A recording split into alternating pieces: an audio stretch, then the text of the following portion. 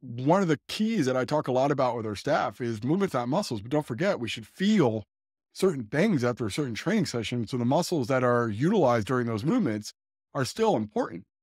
And if I'm sore in my low back after doing a knee dominant quad exercise, squat, something went really wrong.